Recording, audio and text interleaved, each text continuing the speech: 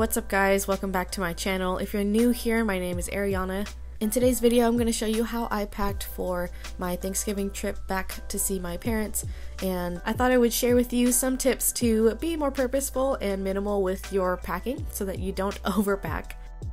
So to jump straight into it, the first tip is to plan ahead, of course. You want to think about the length of your trip and whether you will be able to do laundry or not, um, kind of the weather that you're going to be facing, and if you need to pack any specific outfits for certain events. I'm only going to be away for one week, so this is all that I am bringing, and it will be at my parents' house, so I will be able to use laundry if I need to. And there wasn't really anything else specific uh, in terms of weather or events that I would need other than the day of Thanksgiving Thanksgiving, but my family doesn't like dress up very much for that. So, yeah, I basically kept it very simple.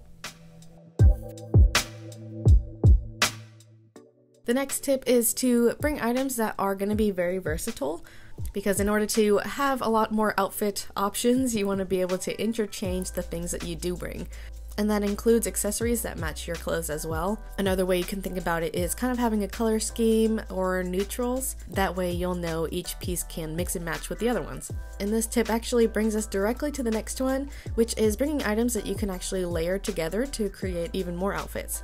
Not only that, but you can also layer up or down depending on changes in the weather. So I pretty much stuck with neutrals, of course, because that's just the easiest. But I do kind of have more of a warmed tone color scheme going on, aside from that one denim button down that's there.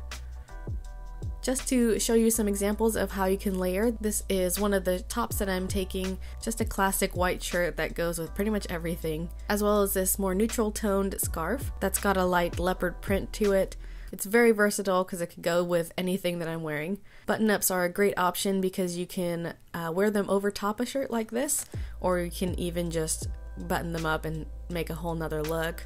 And then a lightweight knit is also a great option that you can put over top of a blouse like this as well. And then if you need more warmth, you can always throw a jacket on top. The next tip is a pretty big one. I definitely think bringing more tops than bottoms is a great option because just changing up the top can actually change the whole outfit, but bottoms that, you know, match with everything, nobody really pays attention to those. I honestly think this helps to keep your packing a lot less bulky because a lot of times bottoms are more bulky than tops are. So the only ones I brought for this week trip was a pair of black leggings and a pair of black skinny jeans. But for tops, I brought five of them. So that includes just a simple gray t-shirt, particularly for layering or lounging around and then that simple white blouse that I mentioned earlier, a denim button down, which is actually one of the things that I wore to the airport, and another button up. This one is longer and patterned, and then a lightweight crew neck sweater.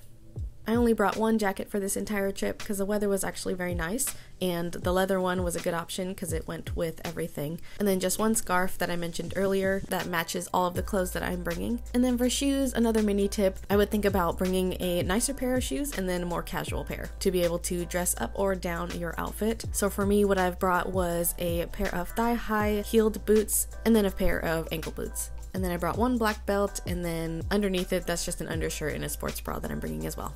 I think a big part of being able to pack less is really just packing things that you love to wear because that really guarantees that you're gonna enjoy your outfit and not feel stuck wishing you would have brought something else. Because I know the worst thing is having packed certain clothes and then feeling like you've got nothing to wear and not being happy about it, and then you end up going out and purchasing something else and just a whole mess.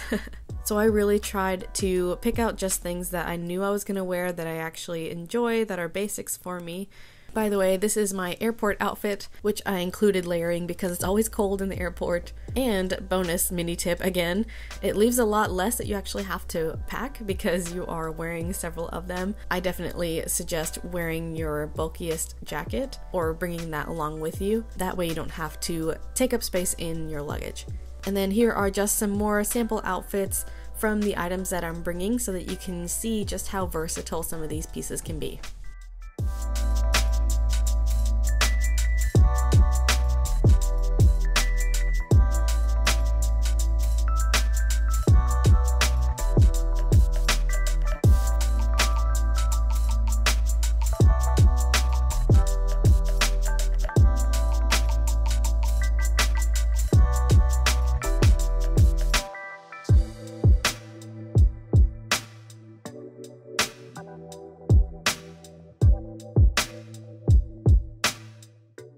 So for the actual packing, I've got this small little duffel bag and I folded up all of my clothes, kind of Marie Kondo style. And I hadn't shown or mentioned like undergarments, but just as like a separate little tip, I do like to use a separate bag just for those so that you can easily grab them out and they don't get scattered at the bottom of your suitcase. I didn't show you the jewelry I was bringing, but in this little pouch here, I did bring one necklace, a pair of earrings, and then just a simple watch. And then I've got my makeup bag here, not including the liquids. I did have a separate bag that I didn't show, but I have a one of those TSA approved little pouches for liquids. And then here's the one purse that I am bringing. Again, one that matches with everything. And in here I will also be taking my laptop, charger, and my bullet journal as well.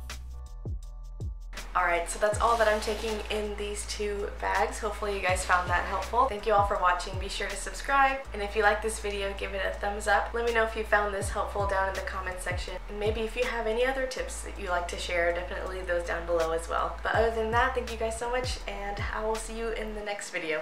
Bye.